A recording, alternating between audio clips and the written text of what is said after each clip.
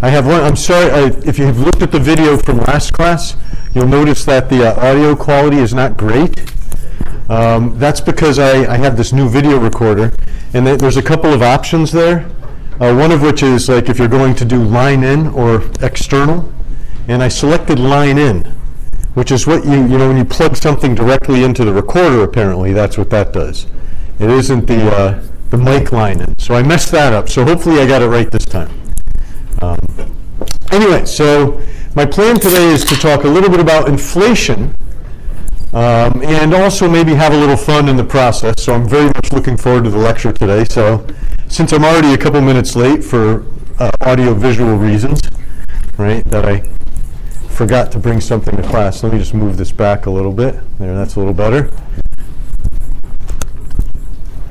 And, uh, right, so there should be a new chapter up on Top Hat for you to uh, enjoy. It's all about prices and inflation, a lot of fun. Let me just check and make sure I'm actually, uh, all systems really are go here. So, looks good. Um, Okay. So about the exam and all that stuff, uh, you know, I'm still, the, if I haven't gotten to your corrections or your grievances, apologies, I'm getting there. Um, I'm still working my way through all that, and then once I'm done, I'm going to get it all up on Blackboard. A lot of you have actually asked me questions about, well, how am I doing? Where do I stand? What is my grade looking like? I'll take care of all of that once we get all of the grades in one place, and we can look at them, and you can look at them, and we'll go from there. So just a reminder, once again, we have our last class coming up a little, what, about a month, right? Our final exam a little bit after that, so, you know, we'll follow, we'll adhere to the uh, actual exam schedule as we do that stuff. Um, Okay, I'm going to dive right in here uh, to what we, what we've been talking about. Uh, And what we've been talking about is calculation. So last time maybe I was a little bit loose with my presentation in some ways. I guess this is what happens when you talk about detail-oriented stuff, right? You kind of go through it all and you forget one or two things, and I got some very good questions over the past couple days in office hours about all this. Uh, So what I did, long story short, is I tried to clean up my table, my example table from last time, just to remind you kind of how these GDP calculations work, and then how we can actually get out of these tables informations on real GDP, right? Real meaning removing the price effects, or the impact of changing prices over time uh, or across places on uh, GDP here. So the fundamental idea, I had an example from Kirkland and Costco last time, uh, behind calculating GDP is very much like what a business does when a business has, um, you know, business produces all of these products, it sells all these different things in all these different markets. At the end of the day, though, you need a number, right, that describes for you exactly how much the business is producing. Typically, what a business might uh, arrive at is using revenue. Well, what is revenue? It's basically just taking the quantities of everything you produce and multiplying it by the price. And this is kind of our approach, or this is exactly our approach to uh, computing GDP, or uh, gross domestic product, gross national product. Uh, somebody asked about the difference between those two things. I'll get to that in a second. Uh, whatever, whatever measure we're using, right, what we're trying to do is calculate how much stuff we're producing in general in a given year. And one way to do this is to think about the dollar value of all that stuff. Then we get a single number. That's what we're after. How does it happen? Well, if you think about, you know, here I have just four goods, um, or you can think of four categories of goods, whatever. Um, and you think about, you know, the quantity of each that we've produced, that's here. The calculation problem we face is if we're talking about how much the economy is producing in general, we have to add these things up, right? And you can't just take 20 plus 20 plus 30 plus 15 because all the units are different, right? It would be meaningless to add all that up. Well, the nice thing about dollars, right, is it gives us a way of trans, uh, of, uh, I guess, transcribing these outputs into common units, right? How much housing did, how much food did you produce? 20 units? What does that mean? Well, $80 worth of food, right? So our economy, instead of thinking about these numbers, we now say, well, we produced $80 of food, $100 of clothing, $240 of uh, shelter, and $30 of transit. We add all those up and we get 450 as the sum. and that gives us a measure of what is being produced, right, in a given year. Remember, we talked about the flow dimension to all of this. We can do the exact same thing here uh, for any given year, and here's the next year, where you have the prices and the quantities. I've designed this example so the quantities change, and they typically go up over time, not all the time. We'll spend a lot of time talking about that. Um, and we can do the exact same thing, and then we get this measure of what was produced in year two, what was produced in year one. The big problem with all this that we're grappling with is our units of measurement, right? Our common units of measurement here are changing over time, right? And this is typically also indicative of reality, meaning that prices typically go up. More on that uh, a little bit later. And so that's also built into my example here, right? Uh, so when we do this, we're confounding price changes and quantity changes. And as an economy, or even as a business, right, you really care about your ability to do more, right? Um, so you want to just sort of isolate that effect. How do we, uh, right? How do we think about just the fact that we're producing more in general, independent of this problem that the price of everything is changing, right? Um, and you can probably see that if prices are going up, at the same time as our quantities are going up, well, then we wind up, if we, if we call all of this 450 to 640 growth, we're confounding just the fact that prices are higher with the fact that our economy can produce more. Right? And so the name that we, we, you know, our technical nomenclature here is when we've removed the price effects, then we have real variables. Right? They're measured in a, this common unit of value.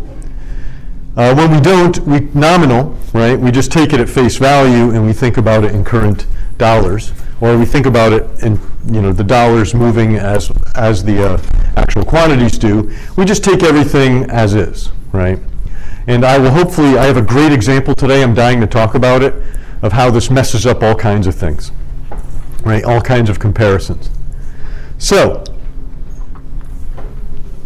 how do we solve this problem? Well, the simplest way to do this, or maybe not obvious, but a, an insightful and simple way to do this, I'll put it that way, is to not let the units of measurement change over time, right? So what does that mean? Well, we'll just, what we'll do is we'll let these numbers change, the quantities change, and we'll fix the prices at this P1, right? So we'll say, all right, well, we're going to measure our quantity changes using the prices given in year one, and then we do the, well, we can calculate the expenditures. That's what the E1R1 means, by the way, expenditures and revenues, um, right? So you can think about it either way. This is how much people spent on the product in a given year. This is how much producers produced and sold of the product in a given year, right? Both are suitable ways we saw last time to measure total output. So we fix the prices here, and we go Q1 times P1 gives us these numbers. We add them up, we get 450. Well, next year, we can do a little bit more of everything, right? Technological progress or business know-how getting better. That's what we have here. But now, instead of letting the prices go up, we say, let's use our old prices again, right? Our prices from last year, or our prices from the base year, as it's called. So we go Q2 times P1 gives us expenditures in year two, and now we have a more comparable measure of how much more we can do in year two than in year one, right? 509 versus 450. So we've removed the price effects by using this base year of prices. And so you might notice that a lot, and hopefully you'll notice this today, a lot of macroeconomic data uh, has this caveat to it, right? If you're looking at real data, it should always say on every table what the base year is, right? And that's the year where you've held prices constant effectively and let everything else change. So uh, there is a different uh, definition of base year, which we'll get into. So that's how we calculate real GDP, right? Um, later on in class, maybe this class, maybe the next class, we'll talk a lot about how we calculate or how we calculate the growth rate of GDP. Uh, we'll set that aside for the time being. Um, some students ask me, well, uh, when I look at this Fed data set, right, the Federal Reserve data from St. Uh, St. Louis Fed, I see a million different measures of GDP of output in a given year. I know there's like per capita and there's all that stuff and real and nominal. Hopefully you know per capita is per person, and now we understand what the difference between real and nominal is. Um, but there is this GDP, GNP distinction, right? And this is commonly, you know, we use GDP and GNP more or less interchangeably, at least I do. But there is a subtle difference here, and it doesn't really matter for most of what you do as an economist or even as a macroeconomist.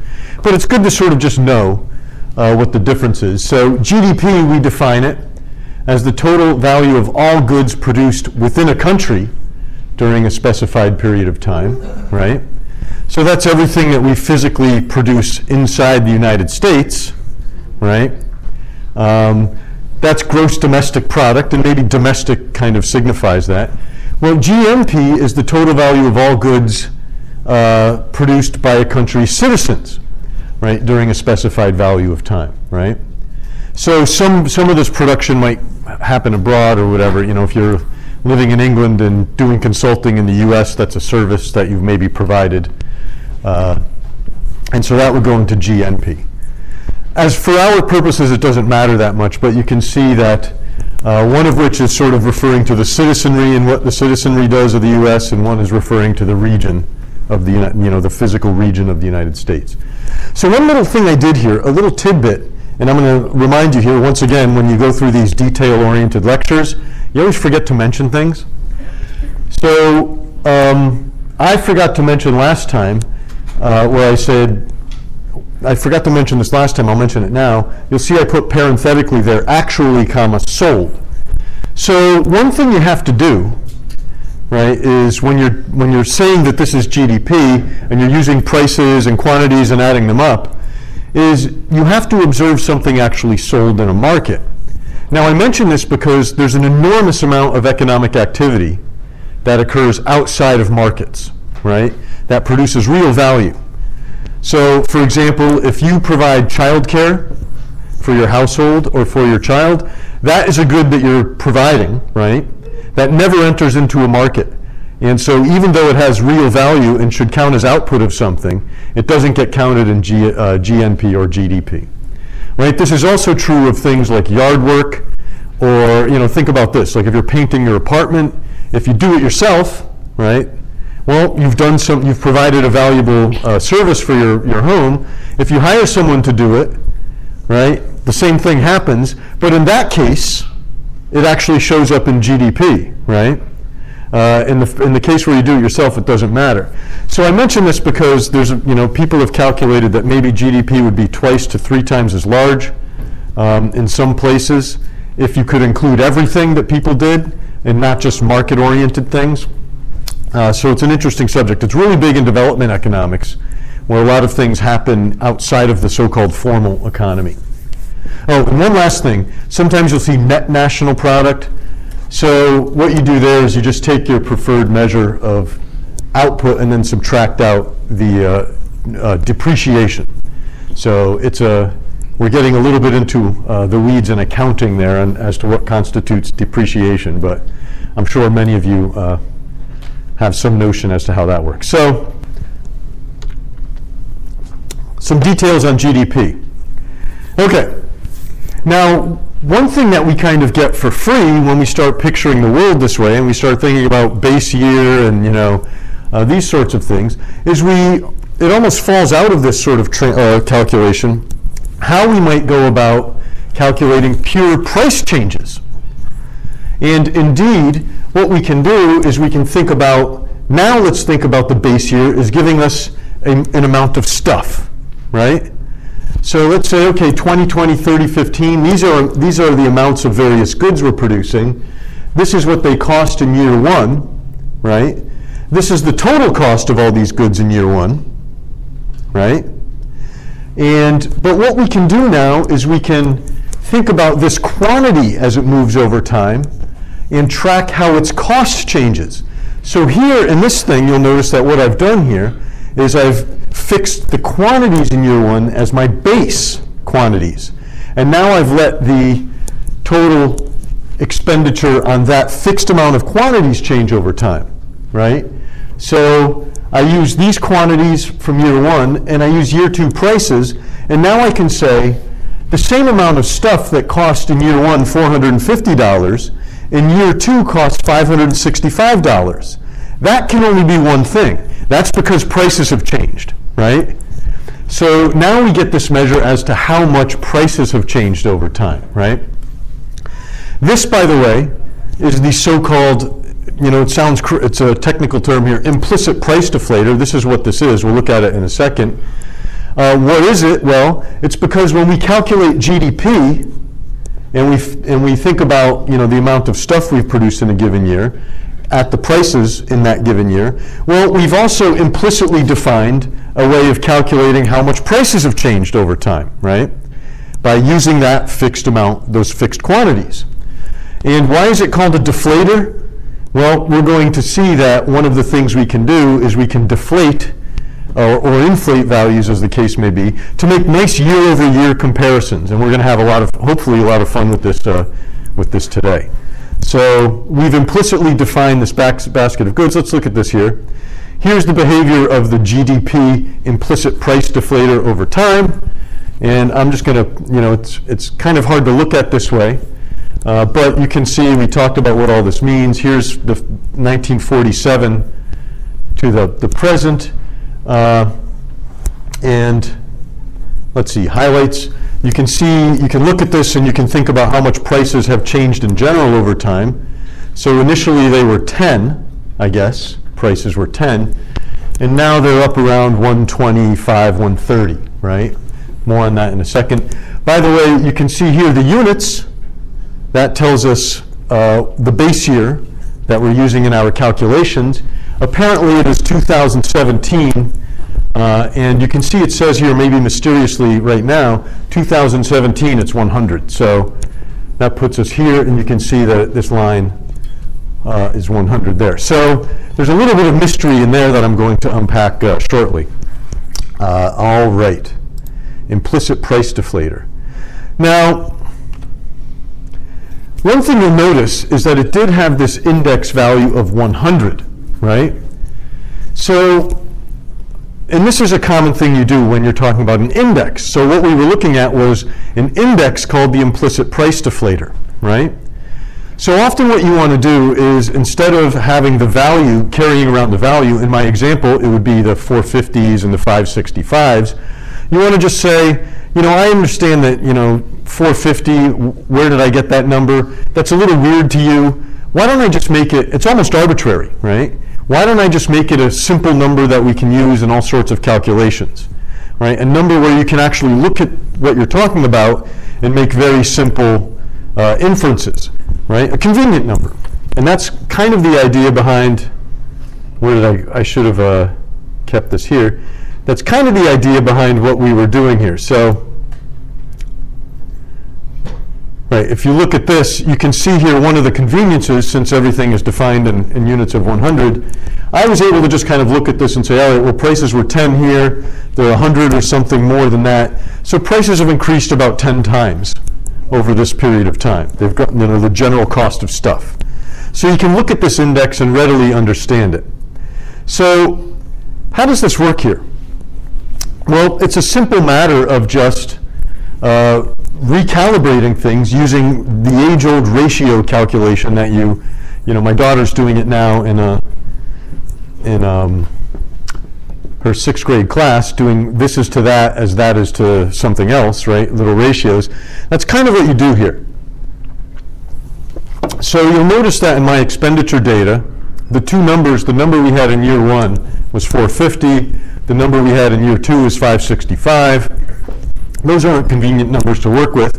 So we might want to say, well, our base year is year one. Let's make that normalize things, so that's a, an easy value to work with. Uh, and then we'll, we'll see how our, the rest of our index goes here. So how do you do that? It's pretty straightforward. You kind of start off like this. Let's see. We had 450 right? And 565, is that what it was? And so what you're going to do is you're going to say, all right, well, we want to redefine this 450 as 100, right? And that will be kind of our base year value, 100. Nice round, simple number, easy to divide, easy to multiply. And then we'll define this 565 as, well, if this is 100, 450 to 565 should be 100 as 100 is to x. So as I've you know explained many an evening, night, uh, what you can do here is just cross multiply and solve for x. 450 times x equals 56500. So x is 56500 over 450. Uh, anybody want to do that for me quickly? 125.55, right? So we would say that the cost of things in general in our base year was 100. Ooh, let me move that down a little bit. Was 100, and then it increased to 125.55 in year two. So this is year one, year two. Now, the nice thing about this is you can even just look at that and you can say, all right, well, there's been about a 25% increase in the cost of things between these two periods. You can just look right at your index and think about it that way, right? And indeed, I will show you uh, later in class, um, I, I, hope I remember to emphasize this, that one thing we care about with prices is the percentage change, i.e. the growth rate of prices over time. And here you can just look at your index and infer what they are. You can say, well, relative to the base year, there's been 25.55 uh, percent inflation, we will call it, or changes in prices. So it's really just a normalization is really just a matter of taking your uh, base year value, dividing it by 100, and for all the other values, you just sort of do this, right? Uh, you complete the ratio calculation. And that's how you get everything into you nice round units of 100s. So, okay. Now, that's what we've done there. Now here's the fun part, right? Um, is that, well, as much fun as one can have in an economics class, right? Here's a, uh, so I have a fun tool here. What you can do is you can actually use this deflator, and I'm going to show you how, just show you some of the results here, to quickly sort of think about how the cost of things has changed over time, or the value of things has changed over time.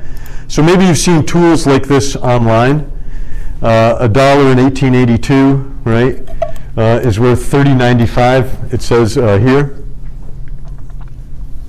Maybe you'll, you know, over the Thanksgiving break, you'll have conversations with your with your older relatives who will complain about gasoline or soda or Coke or whatever, and they'll say, "Well, when I was a kid, a Coke used to cost a quarter." And you'd say, "Well, you know, you'd roll your eyes and say, "Well, when you were a kid, you made two dollars an hour or something, right?"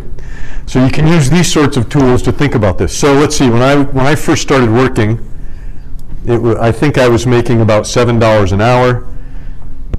Right, uh, let's see, that was in, not 1884, I'm not that old.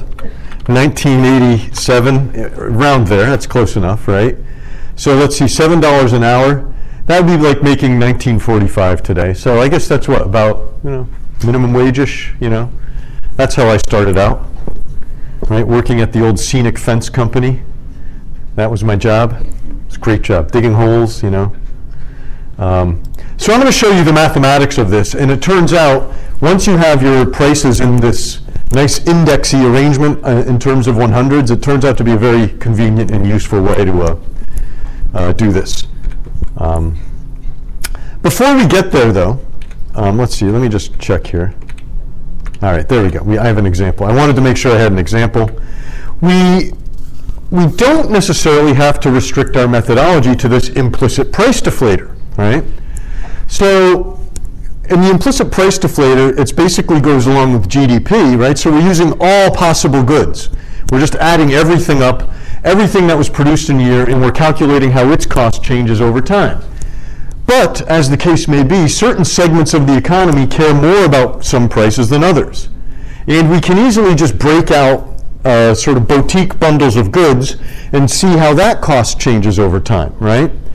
And in this way, we get all sorts of things that are kind of, uh, you know, that that are useful for analyzing the situation of certain people in the, uh, or certain segments of the economy.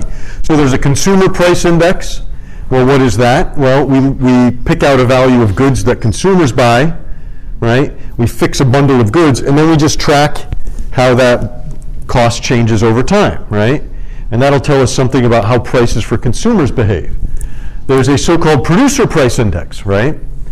Uh, this is things that producers buy. So the consumer price index might focus on things like, uh, uh, you know, clothes and rent, uh, you know, transit, the things that I had in my little example maybe. A producer price index might focus more on things like the costs of steel or lumber, uh, fuel, electricity, stuff like that. And of course, there might be some overlap. You would expect there would be. There's also a wholesale price index. You can make all of these ind indices for various purposes. Um, and it's kind of a fun and interesting thing to do. So I actually, many years ago, I had a student, uh, it was one of my first graduate students. He used, uh, he made an index of, there's a whole, by the way, science of this. If you take, uh, an if you take econometrics, uh, you can learn how to make kind of complex indices for, say, housing prices this student made an index of the value of a, a basket of collectible baseball cards and how it changed over time to track the market for collectibles, which is a really, hopefully we'll talk a little bit about that later. Uh, it's a fun thing to, uh, to think about. Anyways, I have some fun examples uh, for you here. Uh, here's one index, whatever, cookies. Um, that's kind of interesting. It's where you take a, a, bundle of goods, so you should always, you know, you should always be well informed about what's going on with these things. So you can see here we have a fan cost index the, for the NFL. So what is the cost of taking a family to an NFL game? So you have the cost of tickets, presumably a family of four, right? Cost of tickets, parking and refreshments, right? Um, and so you can see here that the what the cost of an NFL game is. It looks like the Raiders is the most expensive ticket uh, around there. It surprises me a little bit. One thing that surprises me is the Giants are way down here, right? I thought it was really expensive to go to uh, uh, go out there to MetLife to the Radiator to see the Giants play. Um, apparently not. But if you want the cheapest ticket, the Arizona Cardinals here uh, is the cheapest. So I think about these these indices sometimes. If we plan a family trip, one thing I love is NBA basketball. So if we plan a family trip somewhere, I bust out the in, these indices and I see, well, where can I go see a basketball game for something less than a million dollars like it is in uh, Madison Square Garden? So, you know, if you go to Orlando, for example, or Miami, good places to get a cheap ticket. Um, so that's one example of a, uh, a tailor-made index. Well, there's also this one, which we'll talk about more in a second. Um, Right, so one thing that happens, like any price, is the price of going to the movies is going up, up, up, up over time.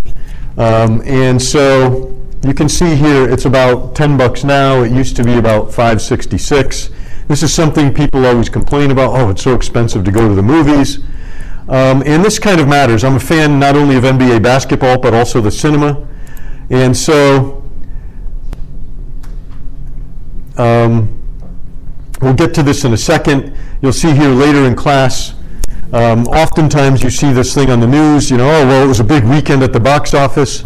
Such and such is now the grossest, the biggest grossing movie of all time, right? And it's, you know, Marvel Comics, uh, you know, uh, I don't know, Elevator Man or something is number one, you know, the best movie, the biggest movie of all time. And I say, that can't, that's not true. It's because you're using current prices, right? You want to think about what really, you know, in real terms, was the best-selling movie of all time or the most uh, popular movie of all time. So we'll get into that in a second. Um, but let's fill in some details about some of these indices we're talking about. So here's the consumer price index. The way it's assembled is it's basically, you know, you take this basket of goods that the typical consumer bu uh, buys, and you think about how its cost changes over time. And, you know, it's pretty complex. It's actually done by survey. Right? Uh, the Bureau of Labor Statistics, I believe, does a survey to figure out what consumers are spending on all these different products and then assembles it all together into this index based on the cost of this bundle and how it changes over time. But it breaks down roughly like this. So 42% housing, right? The cost of housing figure into the CPI, 15.4 on transportation, food, medical care, education, recreation, so on and so forth. It adds all these things up and tracks how they change over time to get the uh, index. So it's always, it always is worthwhile to think about this, that the CPI is biased in some ways, in that it likely, if your purchases don't match the CPI, it's likely that inflation is different for you than it is for someone else, or changes in the CPI, I should say. And so maybe, you know, I mention this because you might hear this in the public debate now. Well, inflation is hurting this group of consumers. It's hurting that group of consumers, right? Uh, and one of the sources of argument is that people buy different things. So, I mean, you just have to look at this and you can say, well, the CPI here, if you're a New Yorker, you might spend more on housing, say, than others, right? If you're a Hunter student, happily, maybe you spend less on, you know, your education isn't, you know, quite as expensive, right? But still of extremely high quality, as we know from attending this class. Hey, that was the first, first laugh of the semester there. Okay, so it's kind of interesting to look at what it, what it, uh, how it moves over time, and I know we've done this, but maybe to accentuate this point, that um, there are all these different uh, types of indices. You can see here, if you go to this Fred website, um, you know, there's personal consumption price index, there's a sticky price consumer price index, so that's the index without food and energy. There's urban consumers, there's the median consumer price index, so there's all these different indices uh, that people use here. So what do they look like over time? Well, this one kind of goes like that. That's the urban consumers one. Um, this one kind of looks the same, right? You can see that what I'm trying to uh, communicate here is that most of these indices tend to move together, right? Um, which is, I guess, the idea that prices in general tend to go up over time. So just to show you some of the mechanics of this, I found this one index. You probably have learned by now that I'm a big fan of economic history. And I don't just mean what happened 30 years ago, I mean 300, 3,000, all of that stuff. Well, I found this index. By the way, there's indices that go way back into you know medieval England, which we'll look at maybe next class. We'll look at some of that. Here's an index that goes back to, uh, in the United States uh, back to 1800. Um, and of course, one of the things you want to look at whenever you look at these indices, here, here we go, is you want to sort of, uh, well, it didn't say there, uh, maybe it said at the top. If I had, oh, if I had, 1967 is the base year for this data. So in 1967, the index equaled 100. Uh, and of course, we have estimates over time. And one of the weird things is that rather than just sort of going up all the time, in those days, prices used to go down, uh, you know, so you can see here in 1800, the index was at 51. Uh, so prices were about half of what they were in 1800 as they were in 1967. But then you see that there's this, the prices going down, down, and they're actually, in 1853, the dollar, one way of thinking about this, was worth four times what it was in 1800. Well, the problem was, I shouldn't have said that because we didn't really have dollars right, uh, throughout, throughout this whole time. But anyway, you see what's going on here. Um, and then, of course, we get kind of the modern era where prices, the index seems to keep going up. So I had an, an interesting exercise here, a two cent stamp in 1916, right? If you have one, like a stamp collection, maybe you have an old stamp like this. Uh, you might ask, well, if you had to buy a, a stamp in 1916, it was two cents uh, what would that be like in modern terms, right? And that might give you a hint as to whether a stamp actually was cheaper in eight, uh, 1916 than it was today, even though it's two cents. So pay attention. This will help you with your Thanksgiving Day arguments about um, you know, how much prices have changed and all of that. Whether or not, for example, a, a 25 cent Coke is uh, cheaper or more expensive.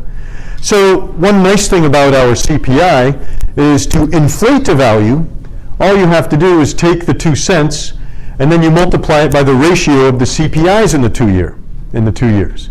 And so I'm going to look up those two values and write them down. Let's see, 2024 in my historical data, 944.9.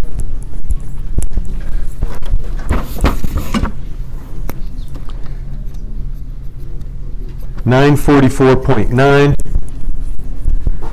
Uh, let's see. And what was the 1916? I'll go back and get the value there. 1916, it was 32.7.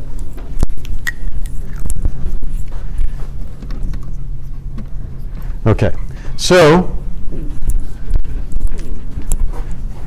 I know the suspense is killing you.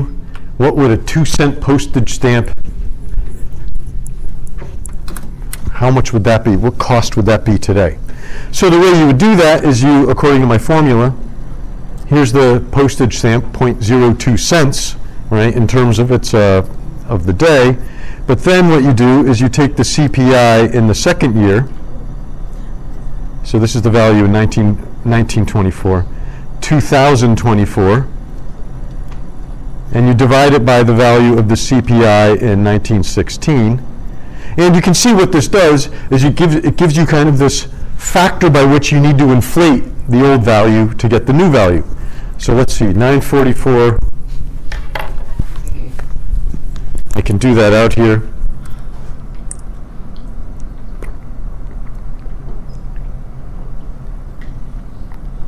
Nine forty-four point nine divided by thirty-two point seven gives us twenty-eight point eight nine, right? Now, what is the interpretation of this number?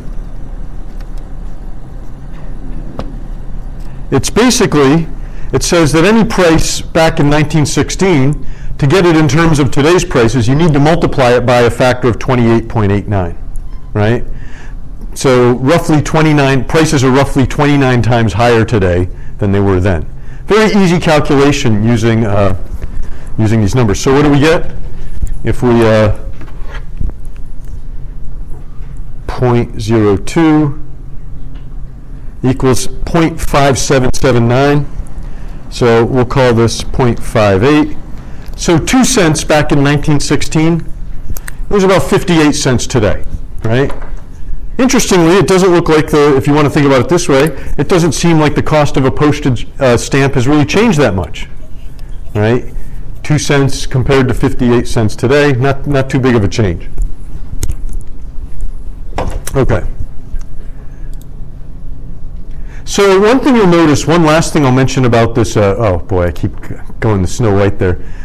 One of the last things that I'll mention about this table here, let me turn this off, is here it has the, and we'll, we'll talk about this more later, here we have the values of the CPI in each year. Here we have the percentage change between the two years. We'll talk about how to calculate that. Um, this by the way, is inflation, how we measure inflation when people talk about inflation being 2 or 3% or whatever. It's just the percentage change in these numbers over time, right? And that's often an even more convenient way to talk about prices uh, and how they change, is the value of inflation. And hopefully you can kind of see that in this data, it's fluctuated uh, rather substantially over time. More on that in a minute. But I figured what we could do here, uh-oh. I exited out of my notes prematurely. Is we could maybe make some headway into resolving this debate here about what truly were the great, the highest grossing movies of all time, right? Um, so if you go to a website like Box Office Mojo, this is the kind of list that'll drive that'll drive me crazy.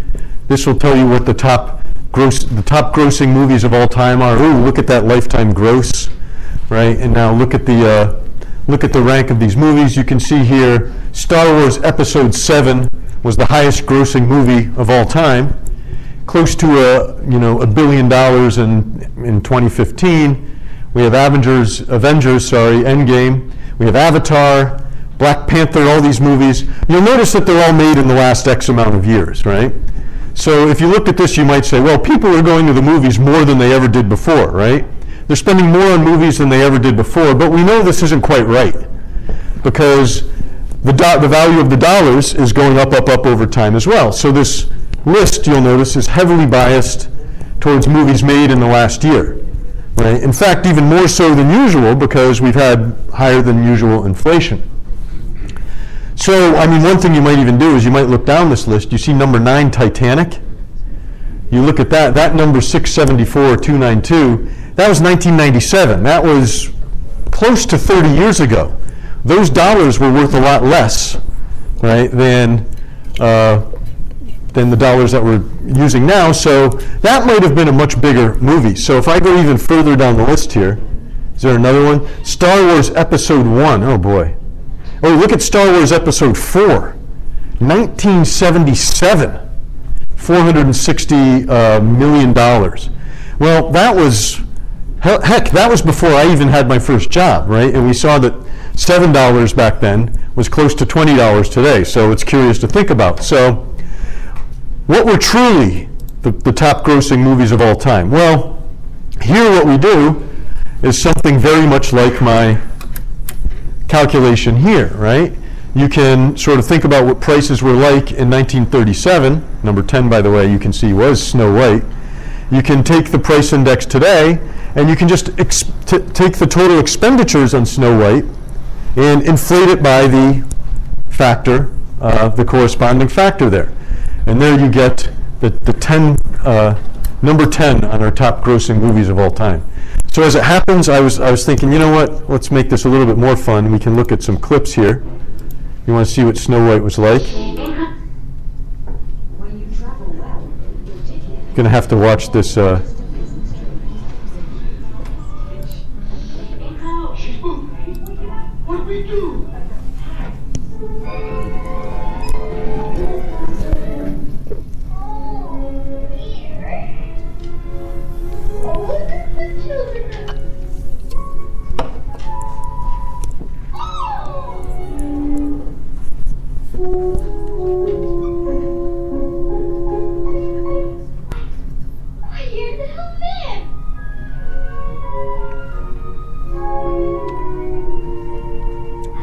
Anyways, there it is, uh, Snow White, number 10. Right, so I believe that was one of the first color movies ever made, and it was indeed an animated movie. I guess we've come a long way uh, in terms of animation.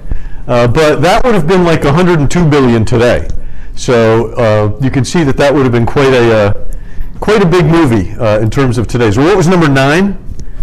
Well, it was The Exorcist. How many people have seen The Exorcist here? All right, a couple people. Um, you'll see it was 1973, but if we inflated those dollars to today's values, it would be about 1.03 billion, which to me is pretty surprising. Because this was not a mainstream movie, and in fact, you'll notice I do not have a clip from this movie. It's because I, the first time I kind of went through this list, I did it during the pandemic, and I was making a video at home, and my daughter, uh, who at the time was, you know, five or six, was kind of looking at what I was doing, and the clip popped up, and there was swearing and head spinning around 360 degrees, and uh, it was a little bit uh, traumatizing. She hasn't mentioned that that uh, episode, so um, hopefully she forgot about it. But not really a mainstream type movie. Well, number eight, Doctor Zhivago. I'm guessing not many people have seen Doctor Zhivago. Anybody? You all should see Doctor Zhivago. Omar Sharif. Uh, oh, who was the uh, the female Julie Christie, very good, thank you. Great movie. It's about the Russian Revolution. It's a you know beautiful scenery. So it's hard to pick one scene, but I thought I would pick this one. It's the frozen house scene.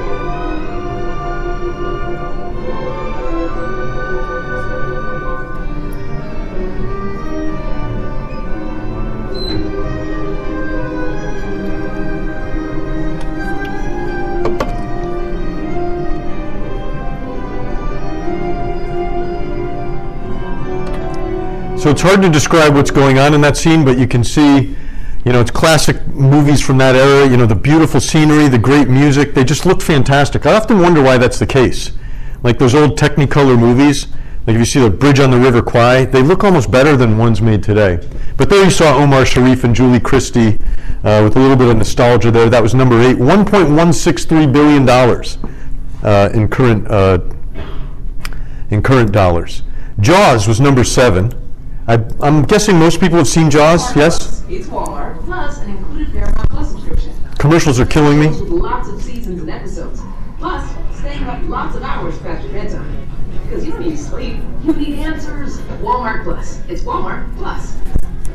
Heard? Slow ahead. Roy Scheider. Robert Shaw.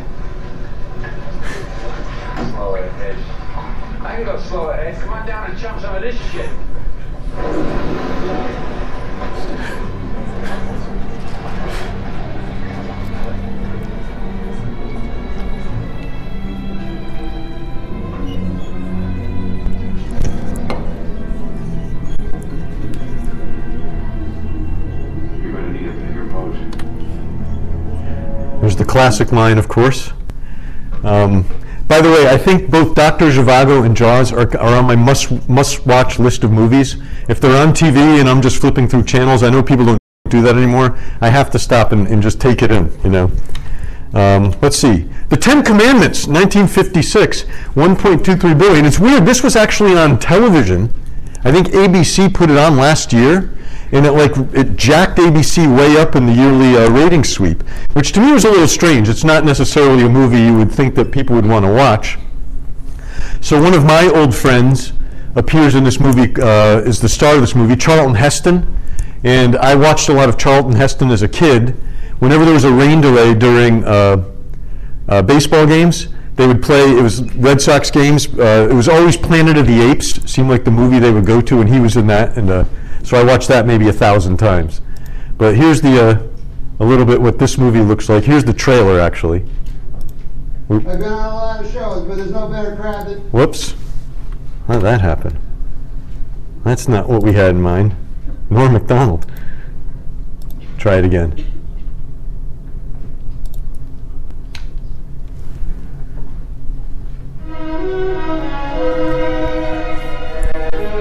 Yours was the face I saw above my cradle.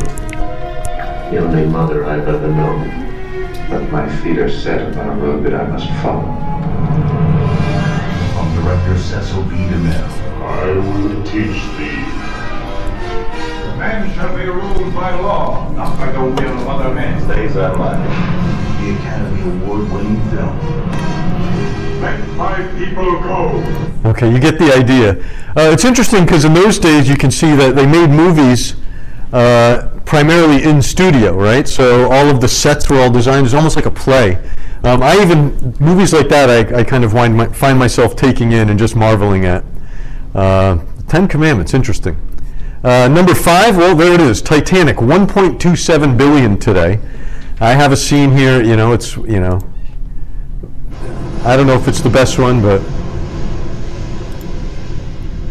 it's the classic Titanic scene. There he is, a young Leo, Leonardo DiCaprio.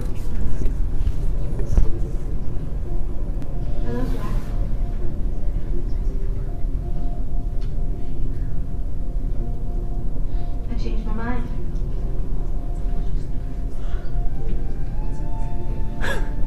Little Celine Dion. And,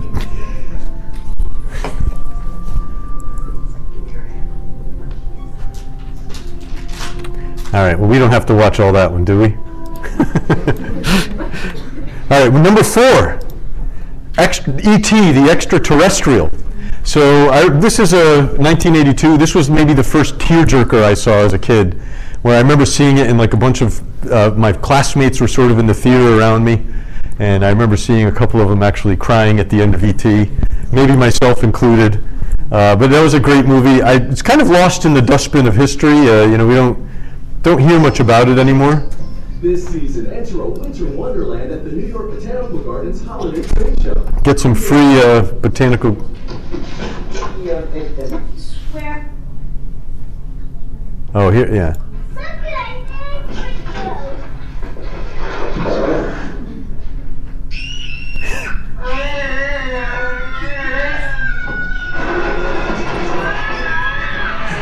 So that's where there's a meeting. I believe that was Drew Barrymore, a young Drew Barrymore there uh, in E.T. Continuing on here, picking up the pace a little bit. Number three, The Sound of Music, 1965. And you can't not show a scene.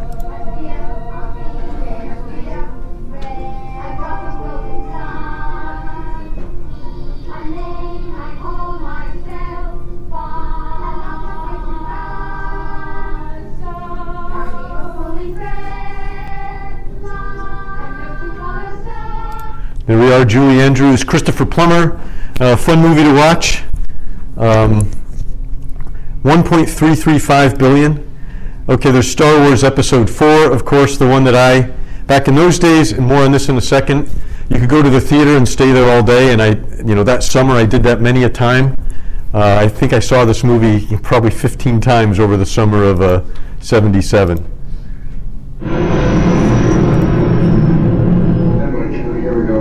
Light engines.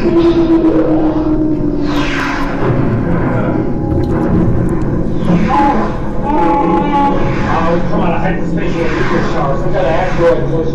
Flying into the charts. What's going on? We're positioned for it, no. What?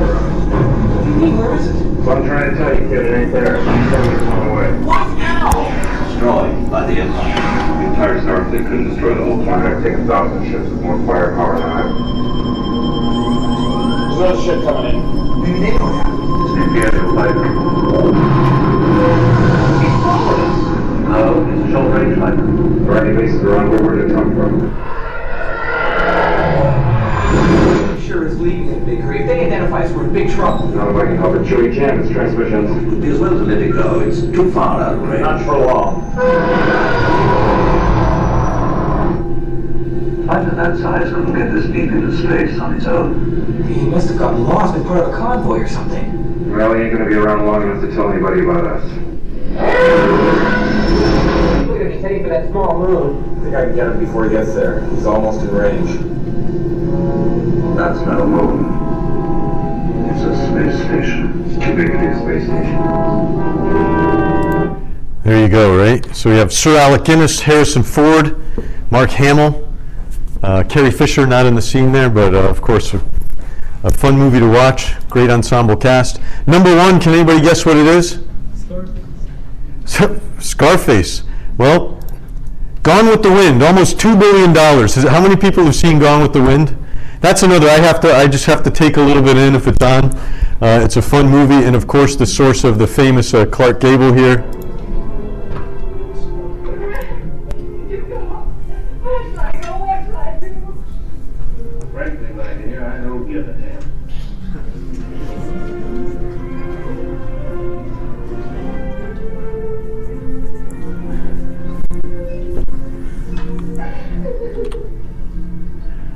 Okay, so there you have it. The true uh, highest grossing movies of all time in current dollars, right?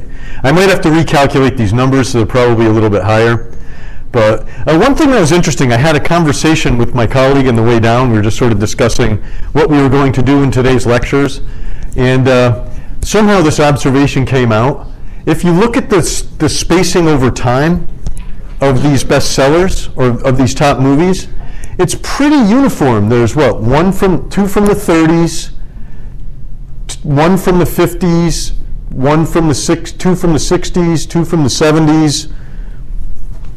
Right? It's kind of weird that this is there's this even uh, spacing over time, particularly when you think about how different movies are, or going to the movies is now uh, relative to back in those days. So even when I was a kid, you know, if you didn't see Star Wars in the theater, theater that was it.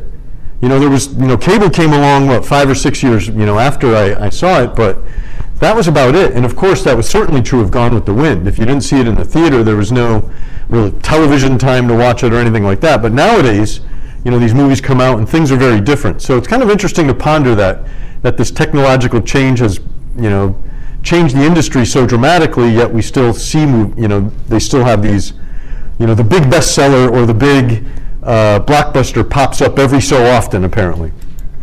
Okay.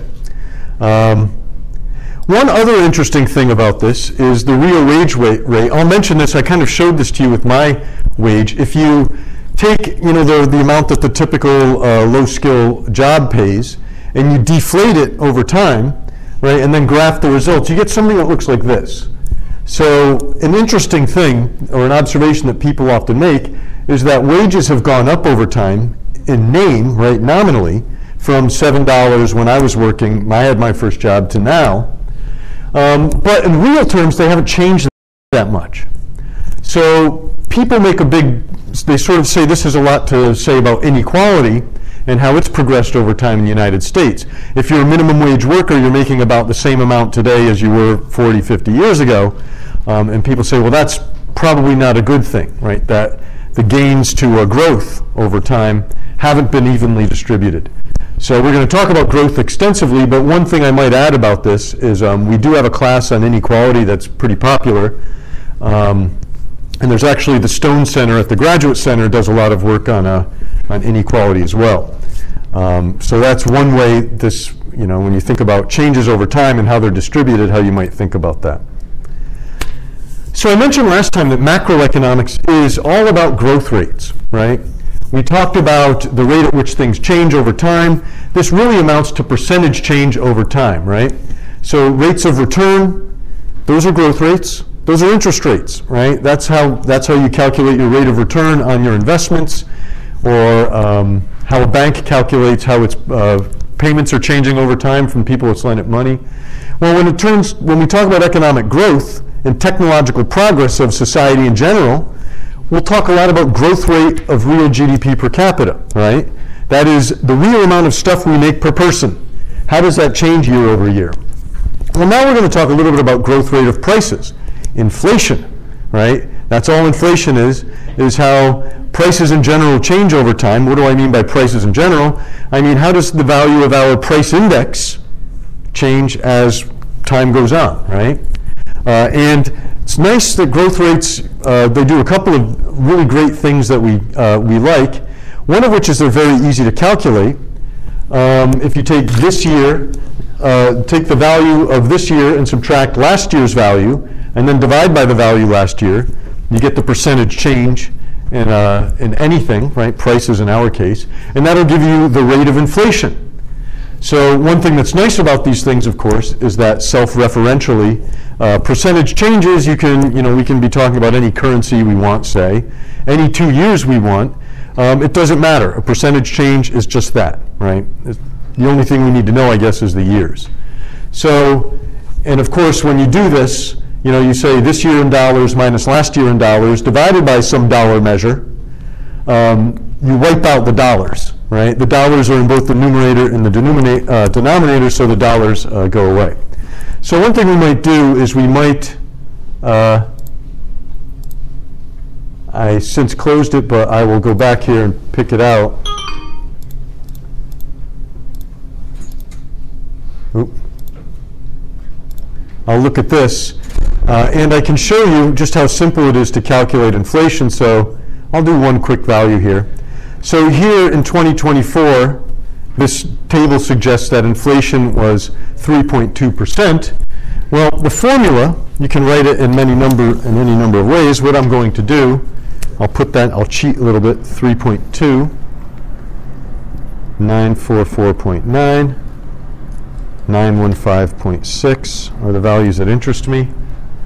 Um, okay, let's go back to the slide. And really all you have to do to calculate a percentage change, well, what you want to, what you're trying to do is get the percentage change as, by the way, we often use this delta to denote change. It's the change in P divided by the level of P. That's a generic formula here. Well, what do we mean here? We really mean something like the, this change here is PT plus 1 minus PT. The price in the year, the next year, minus the price in the previous year. That's just what this change means, divided by the change in the previous year. So the way we would do this is we would say in 2024, say, the CPI with the 1967 base, as we saw, was 944.9. We subtract 915.6 and then divide 915.6 like this. And this will give us, I'll do it piece by piece here. Uh, going back to my trusty phone calculator here. We have 944.9 minus, I know this is always fun to watch me do this, 915.6, and that gives us, I get 29.3. And then we divide that by 915.6. Ah, whoops. Why is this taking so long? Divided by 91515.6. And I get equals 0.032 right? Which is, of course, 3.2%, which is exactly the number that was on the, uh, on the table there. So that's all it is. This is the change, the new value minus the old value, divide by the old value, and that gives you the percentage change or the growth rate, right? The growth rate. And it's that simple. And in every case, when we talk about real GDP growth per capita, when we talk about prices, that's always going to be the same calculation. So one thing we can do is we can now, I've, I've told you that my ulterior motive in these, in these lectures, uh, last lecture, this one, maybe even the, the following, is to give you some feel for history and economic history. So this is a graph of those percentage changes over time, right? Put another way, this is year over year inflation, right, from 1967 or so until 2020 uh, 2021. This is, a, I guess, a pandemic era picture. And you can see that there's been inflation over time. Uh, you can see the 70s into the early 80s was a period of pretty high inflation. Uh, and then after that, from 80 until you know 2020 or so, inflation was just much lower, on the order of 4%, 3%. And in fact, we often call this period the Great Moderation, because there just wasn't much inflation there. Over here, I, ha I have a chart which goes up to 2020, which also has some additional information. It goes back even further, and you can see that, you know, in World War I, there was a lot of inflation, but after, there were periods of deflation where prices were going down year to year. Um, you can see that even throughout the Great Depression, prices kind of, at least at the beginning, went way down, right? Um, and in this way, you can, you can see the 70s is there again. And this way, you start to get a feel for how price changes interacted with other historical events. And of course, when we start building our theory, our macro theory, we'll have to think a lot about that. Well, why do prices seem to be coming down in the Depression? Uh, what could cause that? And of course, if you want to look at the latest data, you can, here's inflation for consumer, this is a 1960 roughly to the present. You can see here that maybe the, the great moderation is a little bit more obvious here, but of course, we've had a fairly well documented spike in inflation uh, not uh, over the past couple of years. Um, okay. So that's kind of what it looks like over time. Now, it's interesting to look at inflation rates around the world. So everybody has different currencies and all that stuff, and if you look around the world, you get a picture, you get, you can see that there's tremendous variation in the rate of change, year over year rate of change of prices, inflation across countries. So for example, Argentina, it was 193 was inflation. Uh, it's, it was gone down a little bit from 209, yes, that is percent. So you can imagine what that means for uh, prices over time. Much more typically, inflation is, is uh, you know, you can see usually hovers a little bit lower. Um, couple of percentage points, and here's the US down here, 2.4, 2.6. Now, it's interesting if you look at this map of inflation around the world, you can see that it's concentrated in particular places, right? And you might even look at this and say, well, um, instability of government has something to do with inflation. So here's another thing, to, a factoid to file away. Why would it be the case that places like uh, Venezuela or Turkey or uh, Myanmar tend to have higher rates of inflation? What's going on there, right? Um, and really, it has something to do with incentives to print money, right? Which we will see shortly causes inflation. Arge- Argentina is an interesting one, though. If you look at the history of Argentinian inflation over time, it's uh, it's come down a little bit um, from 292, right, in April.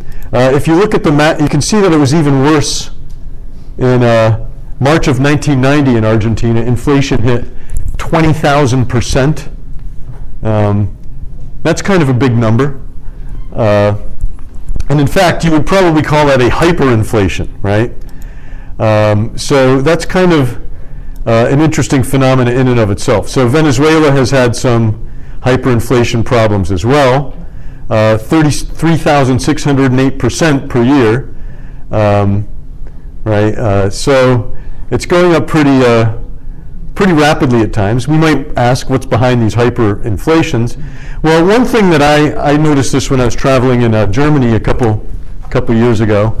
There was this uh, hotel we stayed in where they had these old marks, right? The old German currency from the 30s. And you can see they had a zwei Millionen Mark note, 2 million mark, right? They had terrible hyperinflation in the 20s. Uh, and that these were some of the, the relics of that. Um, so you might wonder what's going on there. How does that happen and why? Um, hopefully we'll have a little time to talk about that. So next time what we're going to do is we're going to talk about another growth rate, and we'll get some more practice calculating these growth rates. It'll be the growth rate of GDP over time, not just prices, right? We'll talk about uh, growth without prices in effect. So this is a big subject. Um, as the Nobel Prize winner Robert Lucas has said, once you start thinking about growth and year-over-year GDP growth, it's almost hard to think about anything else, right, in economics or social sciences in general. So we'll do that next time.